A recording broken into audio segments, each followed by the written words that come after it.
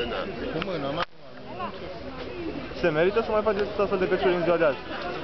Dacă ne-a intrat odată în sânge meseria asta, altă meserie, Ce preț au? ce să faci? Cum merge vânzarea astăzi? Foarte slab. Foarte slab față de anii trecuți.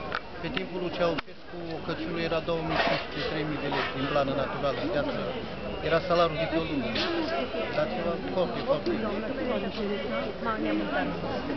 Acum, slab. De ce credeți că se întâmplă asta? Din cauza că oamenii nu au locuri de muncă, n-au unde să muncească și nu au bani din cauza asta. Dacă oamenii ar avea bani, așa cumpăra, dacă ar avea locuri de muncă, să aibă salarii.